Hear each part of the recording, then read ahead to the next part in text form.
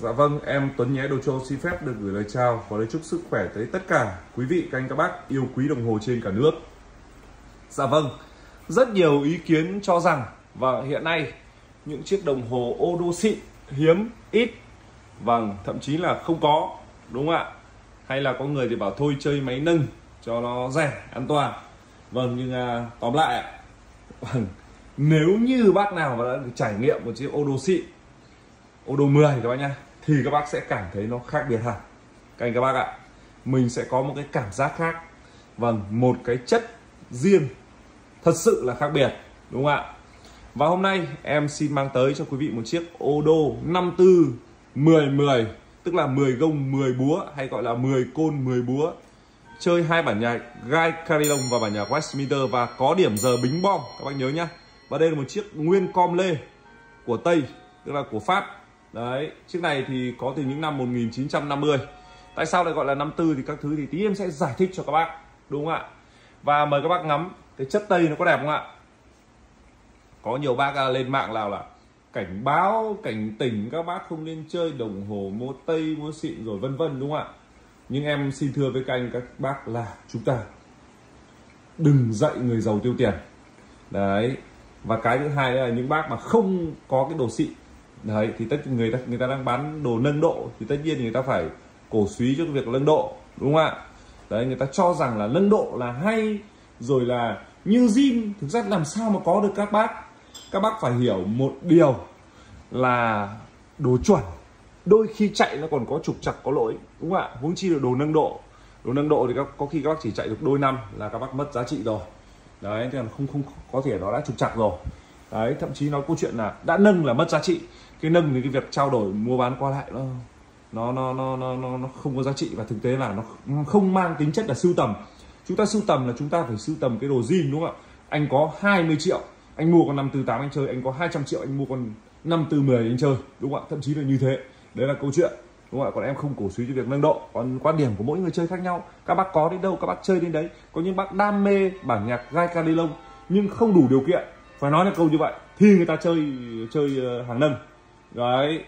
Còn có những người cũng có rất nhiều người giàu nhưng người ta vẫn chọn chơi hàng nâng ạ bởi vì nó rẻ đúng không ạ? Người ta không muốn chi một khoản lớn. Đây là câu chuyện như thế. Đấy. Còn những người am hiểu thật sự những người mà chất đấy.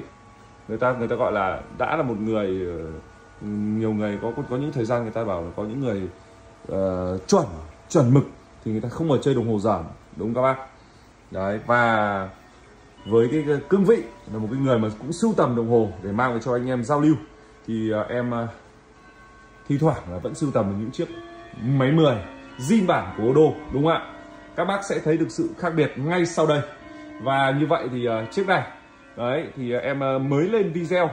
Thế thì các bác hãy nhớ hãy xem phần cuối nhé các bác phải xem phần cuối nhớ giúp em xem phần cuối.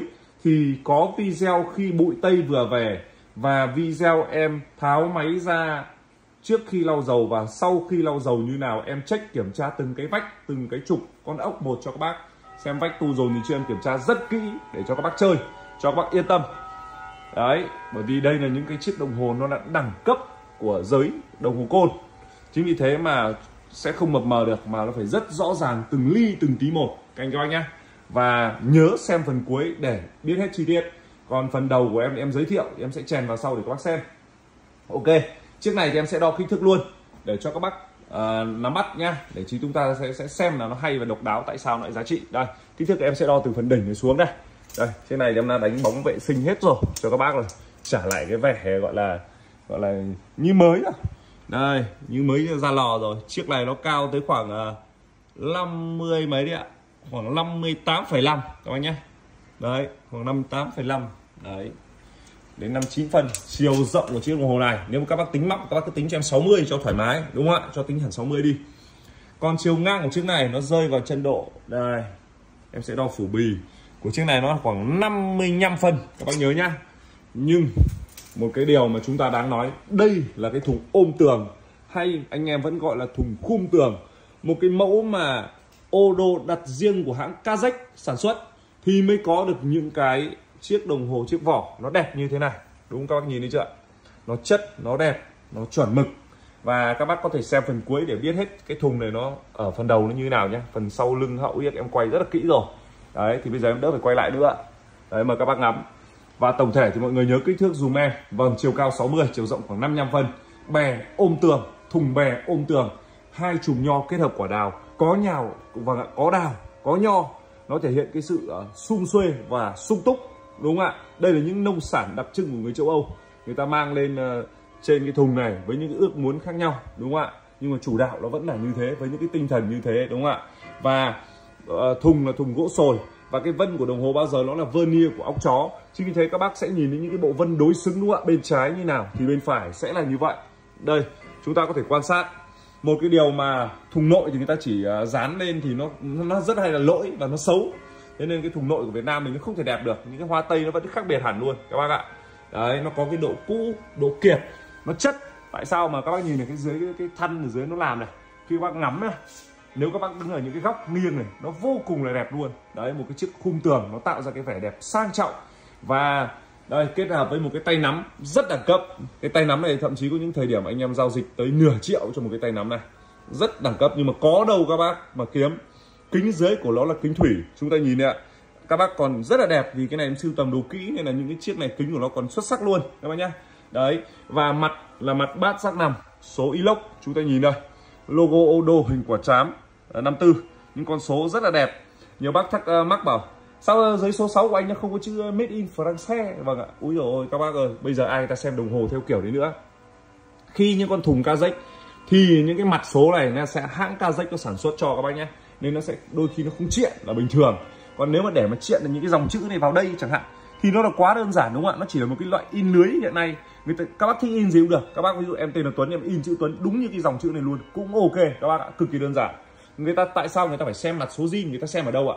Người ta phải xem ở số và ở nền. Và người ta kiểm tra số chân cài ở phía sau.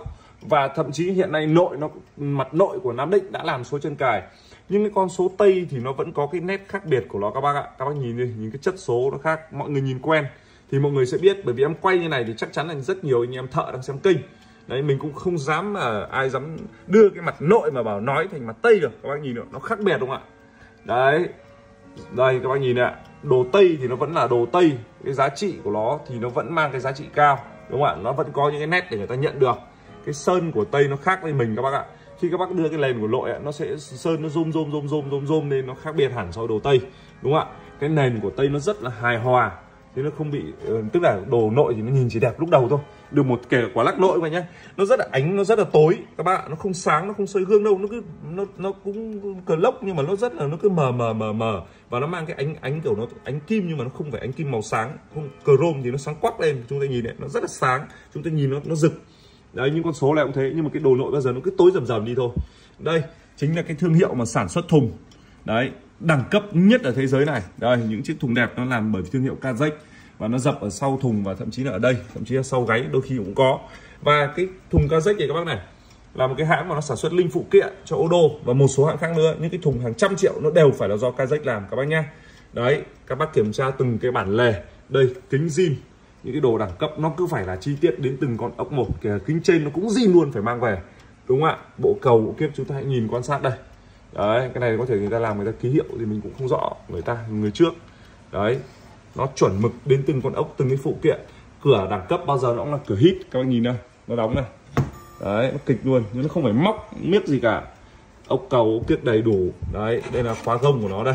Khóa gông này thì thực tế anh em người ta ít dùng đây là zin nhưng người ta sẽ khóa bằng cái bìa các bác nhé để tránh xước gông để đẹp cho gông.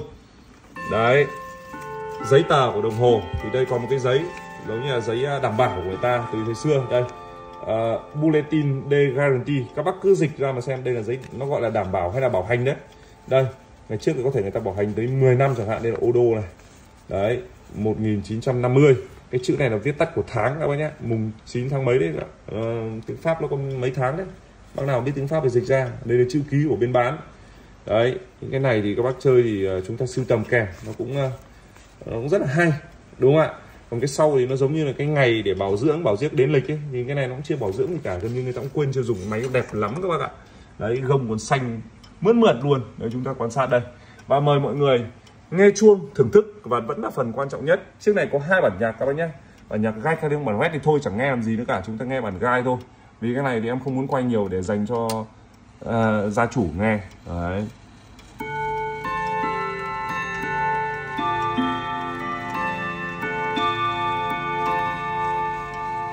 Đấy, chúng ta cảm thấy không ạ? Cái côn của nó rất là ngân. Cái nốt nó cứ tí tách lật bật nó vui nhộn nó đúng cái tinh thần.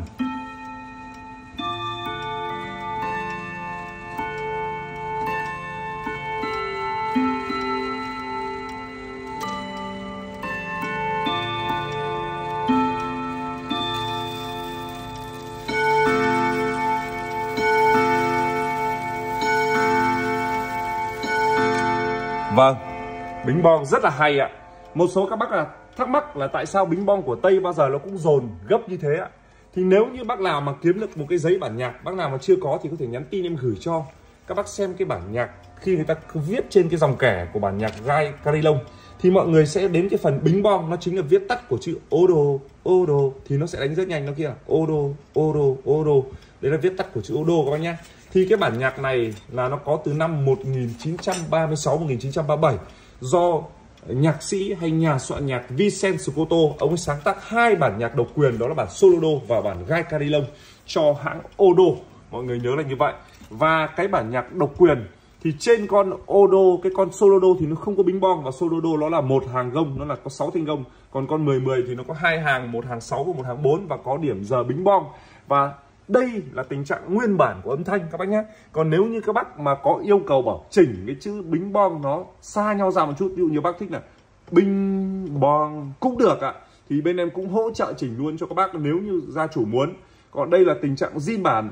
Các bác không tin, các bác cứ hỏi tất cả những anh em thợ làm máy 10 chuyên sâu, thì tất cả, kể cả những con 3 6 10 hay là 5 4 10 thì khi về lúc nào tiếng ô đô dồn cũng rất là gấp luôn thì nó mới là đúng trường độ. Đấy, cái quãng của cái nốt nhạc đấy. Đấy, ví dụ nó giống như nó khoảng cách là bao nhiêu nửa cung, một cung. Bác nào mà học nhạc lý thì mọi người sẽ hiểu thôi ạ.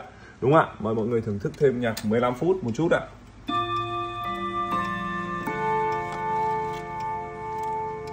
30 phút ạ.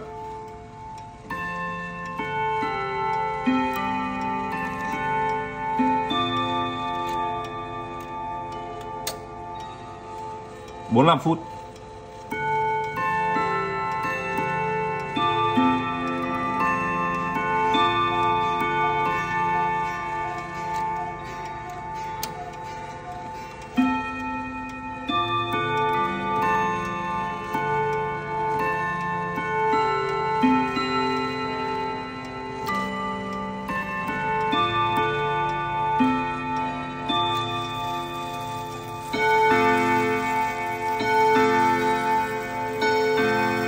Rất hay đúng không ạ? Bính bom dồn rất sướng các bác ạ. Nó liền mạch của bản nhạc.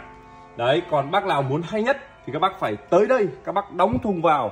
Các bác chờ nó đánh các bác sẽ nghe thấy âm thanh hay nhất. Bởi vì sao ạ? Khi em quay thế này thì nó sẽ có pha tạp âm của tiếng lá gió các bạn. Các bác nghe cái lá gió nó, nó chạy này. Các bác nghe đây không? Đấy. Đấy nó sẽ lẫn vào cái cam rất là nhiều vì nó gần cam hơn là cái ờ, là cái cái cái, cái tiếng nhạc.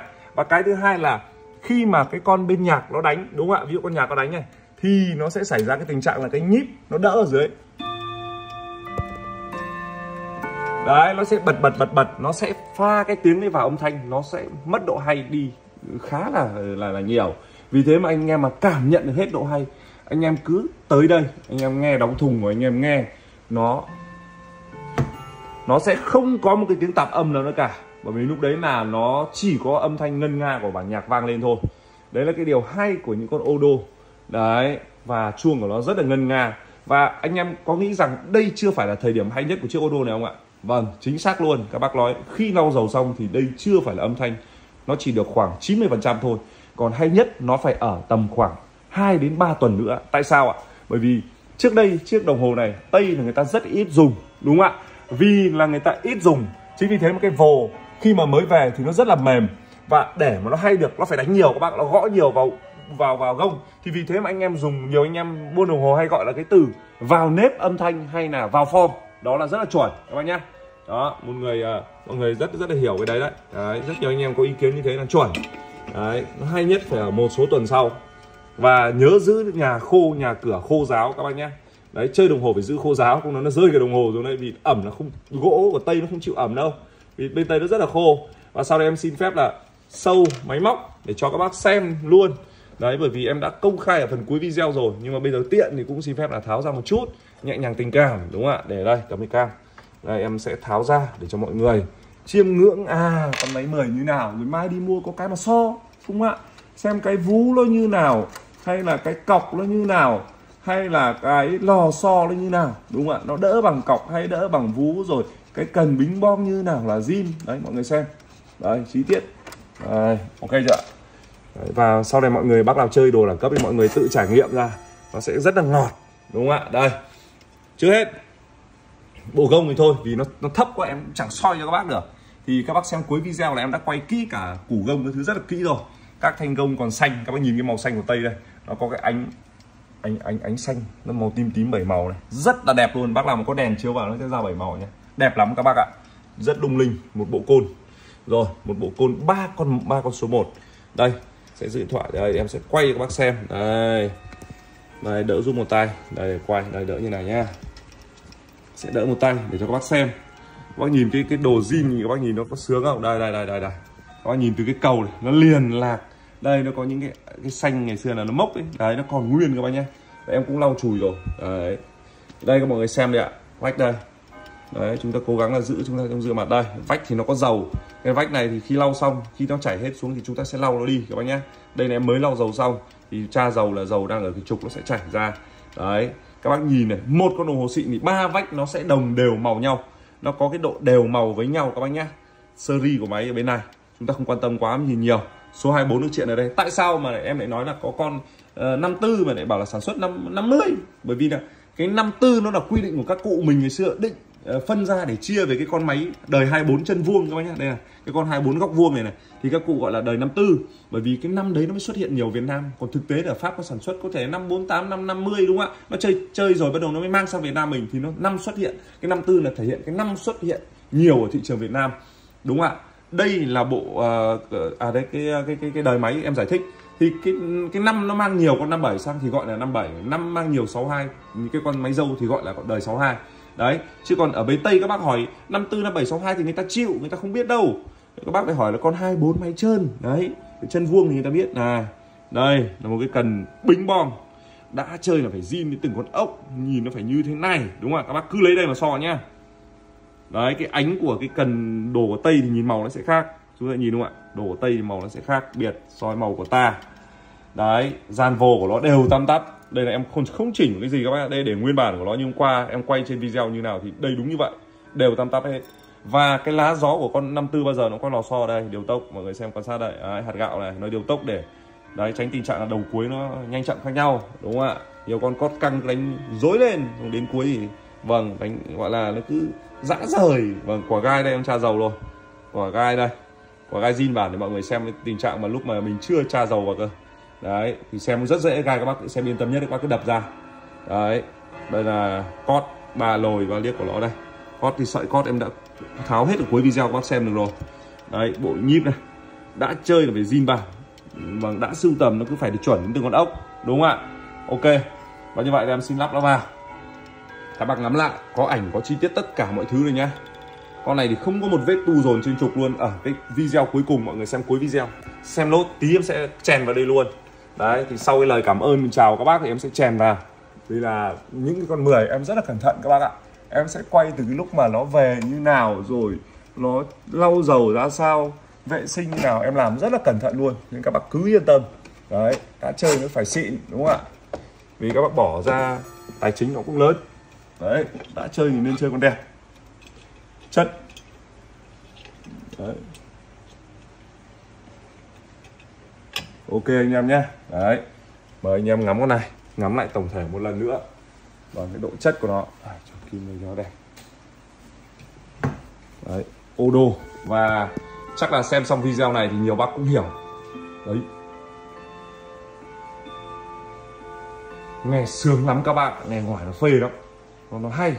Nó ngân nga. Đấy, giọng ca nó phải đáng cái đồng tiền bát gạo đúng không ạ?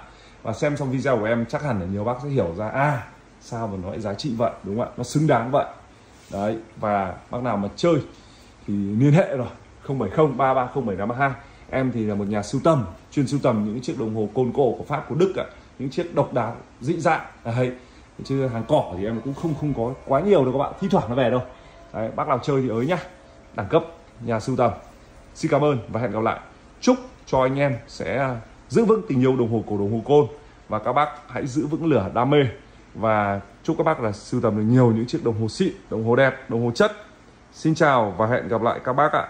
Cảm ơn các bác đã quan tâm. Đây, và đây là tình trạng của cái máy mà khi em tháo ra, trước khi lau dầu, thì em sẽ quay từng cái vách một cho các bác nhé, không có vết tu dồn gì. Đấy, không có đóng bạc, tức là mình sẽ làm cẩn thận cho các bác. Nói chung là tây mà nó đóng bạc cho thì dùng để quá tốt, nhưng mà con này nó chưa đóng bạc thì các bác ạ, thì tình trạng nó càng tốt, siêu tốt siêu đẹp luôn, các bác nhìn vách đây.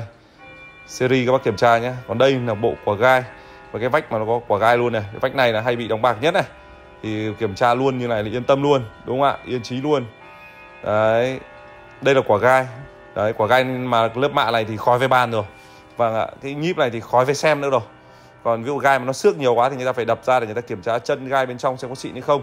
Còn đây là phần vách trước. Các bác cùng xem nhé. Đây là bộ vách trước. Đấy, không có một vết gì cả vách trước thì để mà nói mà nó có vết tu dồn hay rỗng ở vách trước thì nó rất là hiếm rồi. Đấy và đây là ba ổ cót chúng ta có thể xem. Đây nhá ba ổ cót này thì ờ, đây em quay cho các bác zin bản từng sợi một đây. Không có đứt nối gì ở trong này các bác nhé quay này là các bác biết rồi đúng không ạ? Đấy đứt nối thì nó sẽ thành khớp nó nối nó sẽ lồi lên ngay nó lộ ngay. Đấy cót thì nó sẽ bẩn bởi vì nó rất nhìn dầu nó két. Vâng ạ m đây m là cót cót chạy này cót giữa này s là cót uh, điểm d là cót nhạc. Đấy nó có ký hiệu riêng rồi đấy thì nắp nào thì nó đi với nồi đấy gọi là nồi nào đi với vùng đấy đấy ạ. Đây các bác xem cho kỹ. Đó và à đây chúng ta xem bánh răng này thì, thì khỏi phải xem. Chúng ta xem tập trung xem cái lá gió của nó này. Đây gọi là bộ phận điều tốc rất là quan trọng ở bên phần nhạc ạ. Đây là hạt gạo sẽ giúp cho chuông các bác là đánh đều. Đoàn. và quan trọng nữa là đó là cần bính bong đây là hai cái điểm mà để người ta nhận ra đồ zin hay không zin ở cái điểm này thôi. Đúng không ạ? Đấy bởi vì rất nhiều anh em thợ xem nên là phải quay nó chi tiết như này để các bác xem. Đến từng con ốc một đúng không ạ. Và đây là cái ờ, video mà đã lau dầu xong. Đây em đã vệ sinh. Đấy, đã vệ sinh xong. Đấy, còn đây là mới gọi là rửa xong các bác nhé chưa lau chùi lại. Đấy, làm sạch một, thêm một cái công đoạn nữa mới xong. Nhưng mà như này là đã quay cho các bác xem được rồi. Thế sau khi làm nó sẽ sạch như này, nó sẽ sáng ra như này. Đấy. Bây giờ nếu mà các bác muốn vàng nữa thì các bác sẽ trải dầu lên. Nhưng mà chắc chắn là phải trải dầu lên. Thì nó có một cái lớp bảo vệ thì cái oxy hóa nó sẽ giảm đi, nó chậm đi các bác nhá. Nên là đồng hồ các bác khi lần đầu tiên lau dầu thì chúng ta tra nhiều một chút và lau cái vóc ờ, cái vách nó nó nó nó nó bám dầu nhiều và cót kia đã được rửa sạch khác hẳn lúc trước, đúng không ạ? Đã vào cót lại, sạch sẽ tuốt sạch sẽ rồi. Những con này thì thực ra làm rất là nhàn các bác, vì bản chất nó sạch rồi, tương đối rồi, mình làm nó cũng rất là đơn giản. Chứ người ta làm lâu là những con nó quá đen, người ta phải kỳ cọ nhiều thôi, đúng không ạ? Đấy, cái lắp này thì sẽ lau chùi sạch sẽ lại nữa là lắp vào là xong thôi. Đấy, từng cái lắp một, đúng không ạ? Những cái dầu là ám vẫn còn luôn. Đấy là những cái đầu cũ nó phải như thế đúng không ạ?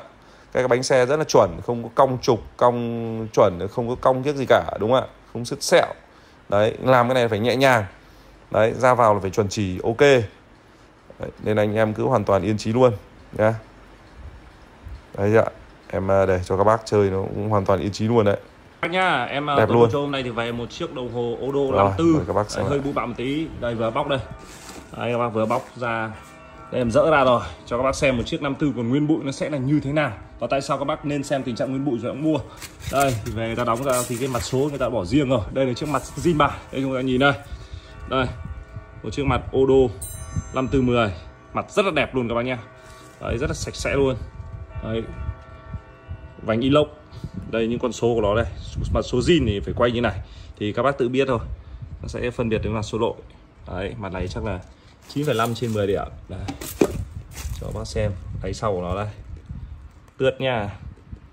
Xem ok đúng không ạ? Mặt số thì bỏ ra luôn. Đây để riêng là từ thứ một. Đây vừa bóc các bác này. Đấy còn đây là cái phụ kiện của nó đây. Thì con này thì có cả kim này chìa khóa này kim tiếp giấy tờ của nó đây. Nó còn nguyên các bác nhá. Đây là gửi về người ta đóng rất là cẩn thận. Vì máy 10 không dám khóa côn các bạn tháo hẳn côn ra này này đấy. Đây. Các bác nhìn đây Odo Carilong đây. Đây là bảo hành các bạn con này 1950 con Odo nhá. Đây. Phụ kiện nó dây khóa các thứ rồi chống chiếc của nó đủ hết. Đây đây nó rơi trong cái đây nó bỏ vào trong này này. Khóa gông khóa gục. Đây đây đây, đây. bộ à, khóa khóa khóa khóa khóa nhạc đây đấy đủ hết các bạn nhá. Ờ, đấy, bỏ hết cái này rồi. Đây là bộ côn này. Từng món một máy để sẽ cho các xem cuối cùng. Đây là bộ côn một trong những cái thành phần rất quan trọng để tạo ra một con âm thanh hay. Đây là củ côn. Quay này là các bác yên tâm chưa ạ? Đây. Và đây là các cái đầu ti. Côn này người ta đóng nguyên bản còn chưa được tháo xem que luôn. Đấy thì tí em sẽ dỡ sau. Còn nguyên bản là như này. Các bác xem ấy trước nhé xem chỉ cần xem tí với xem củ là các bạn biết cái gì này không rồi đúng không ạ? Đây là cái bộ ti côn đây đây là một chiếc nguyên mũi tây các bạn nhìn đầu ti nó đều tam tắp chưa? Đấy vậy nên là người ta mua là phải mua một cái mà cái cao thấp thì không quan trọng các bác nhé quan trọng là các bác nhìn cái đầu ti này nó có cái vết nguyên bụi và nó không bị ra côn. Đây còn ở tây người ta đóng cái cao cái thấp thì là chuyện bình thường. Đấy còn cái góc xoay các bác nhìn nó không có cái vết tô vít vào các cái khe của cái cái cái cái, cái đầu ti này. Đúng không ạ? Một bộ côn chuẩn nó phải như thế. Đấy và tiếp theo một cái phần không quan trọng nhất nữa đó là vẫn là bộ máy đúng không ạ? Đây là đầu lão và đầu lão thì chúng ta chỉ cần đâm lên quả gai, chúng ta xem phát là chúng ta đã đoán được con này là zin bao nhiêu phần trăm rồi. Đúng không ạ? Đấy, bởi vì bọn nó lưng thì quả gai nó là gai đẻo rồi. Đấy, mà bọn ave lên thì nó là gai nội địa rồi. Thì đây là một quả gai tây, chúng ta xem đây trước, đúng không ạ? Và cần chuyển bài đây ạ. Ốp của ốp của gai đây, các bạn nhìn ốp nhá. Xem những cái thẩm quan trọng. Và đây là bộ cần bính bong. Đây, những cái tiêu chí người ta đi xem rất quan trọng người ta ngắm, thợ thì nhìn qua một số điểm là người ta biết rồi. Đúng không còn anh em xem thì sẽ kiểm tra vách giúp em. Ba vách đồng đều màu, vàng sáng. Tất nhiên một con zin bản không thể có chuyện mà mà mà vách của nó khác màu nhau cả. Đấy, series của nó em quay rất là rõ cho các xem. Đúng ra em sẽ che đấy, vì anh bán cho thợ nhưng mà đây em bán cho người chơi này em em quay hết rồi đây, nếu bán cho thợ thì em sẽ phải che. Ấy, các bạn nhìn này, con kia của nó, nguyên bản người ta tháo ra để chống cái xốp để hậu gà đây, các bác xem nhé đây cầm nha, hậu gà đóng thùng vào đây, giữ ngay hậu gà đã đây, các bác xem đây. Đây chính là bộ lò xo, bộ, gọi là à, bộ lá gió của nó này. Lá gió của năm tư, mọi người nhìn nha. Nhớ là nhận được rồi, đúng không? Anh em nhìn quen mặt đã biết rồi, nó có hai cái lò xo đây rồi, đúng không ạ? Xem thì biết rồi. Đấy, chúng ta nhìn này. Và nhìn cho em cái chỉ của cái con này thì tất nhiên là phải đều rồi, đúng không ạ? Nó không thể có nhiều người bị khác vách, người ta về thay vách ra. Thì cái cái chỉ nó sẽ lệch màu, đây nó sẽ là đều tam tắp. Và bộ vồ nó cũng sẽ đều tam tắp luôn, các bác ạ. Nó cũ, nó sẽ cũ đều nó không thể cái mới cái cũ cái xấu cái cái chất da của nó phải đồng đều màu nhau đúng không ạ? Rất quan trọng để tạo nên âm thanh và chúng ta nhìn các cái trục của nó đây có tu dồn gì không ạ? Tất nhiên là không rồi. Vì đi mua đã đến tầm này người ta tháo hết ra cẩn thận ở bên kia người ta đóng về thì thì thì các bác yên tâm. Đây một chiếc nó phải bụi bặm nó còn nguyên. Tức là nó chưa có dầu mỡ làm. Đấy có tiếc thì chắc chắn là di bản rồi. Kiểm tra bên kia rồi. Để các bác về các bác chơi đúng không ạ? Yên tâm. Ô đô một chiếc 240 à, máy chơi. Và đây gọi là 54 5410 các bác nhá rất là đẹp luôn. Con này gần như xuất sắc đấy. Và và chấm cho nó 10 điểm luôn. Các bác nhỉ cái này mà lau dầu cái ống à đẹp xuất sắc này. Đây, nguyên bản này bộ nhíp, bộ như em quay rất là kỹ này. Như này thì nhiều anh em thợ còn xem được nữa, đúng không ạ? Các cái đầu trục không có tu dồn gì cả, máy không rộng. Đấy ờ, chạy nó không dơ, nó chắc máy là quan trọng nhất, âm thanh nó hay chống trước của nó đầy đủ đây được các bác nhé rồi và quan trọng để gọn này ở đây. Em sẽ mời các bác xem cái ờ, cái thùng. Đây cái thùng người ta tháo ra đây. Bỏ hỗ cầu ra cái đó đây là cầu của máy đây. Cầu máy nó vẫn còn cái vết của, của máy đấy các bác đây đây đây đây. Một cái rất là hay. Để các bác xem một cái cầu cầu zin. Cũng phải xem cầu zin. Tức là người ta để máy lâu năm nó mới có những cái này. Cái này thì không quá quan trọng đúng không ạ? Đấy cái này thì bỏ ra thôi. Đấy thùng đây. Chúng ta kiểm tra cái hậu giúp em. Thùng có số này hậu này. Đây, hậu người ta tháo ra, các bác nhìn này, nó có cái vết lõm của nó, lâu năm nó mới tạo thành cái lõm của nó vào đây chúng ta nhìn này, người ta tháo hết ra rồi. Vú của thùng này, chỗ này chỗ khóa công này, dấu thùng con này là thùng ô đô của Kazakh làm cho. Chúng ta nhìn chợ nguyên bản, nguyên bộ. Đấy, cái này đánh cala bóng loáng nó đẹp thôi, kính trước của nó còn đẹp lắm. Đây, quay qua xem kính trước, kính má đây, kính zin. Đấy chơi rất quan trọng, đúng không? Anh em nhìn thùng đây. Đấy, hậu của nó này chống chống chiếc lại à đây, cọc của máy này, con này cũng quan trọng này đó là ngoài này. Đấy. Đấy, chúng ta nhìn chưa? Ok chưa? Đấy, bác nào chơi thì liên hệ với em nhé, để sở hữu một chiếc này. Chiếc này thì em sẽ chèn, em lắp lên, rồi em chèn cái ảnh nó cho các bác, đoạn đầu luôn nhé. Vì bây giờ em chưa lắp vào thì em phải lắp thành, dừng cái máy thì em sẽ lắp côn lắp kiếp vào cho bác xem. Ok, bao zin tuyệt đối 100% đến từng con ốc một. Những con này sẽ chắc chắn rất là hay, hứa hẹn với các bác. Và các bác chờ em lau dầu và sẽ ra video chi tiết bổ hoặc máy ra và xem từng cái bánh xe một, bánh răng một. Đấy, đập của gai các bác xem. Cảm ơn các bác hẹn gặp lại các bác nhé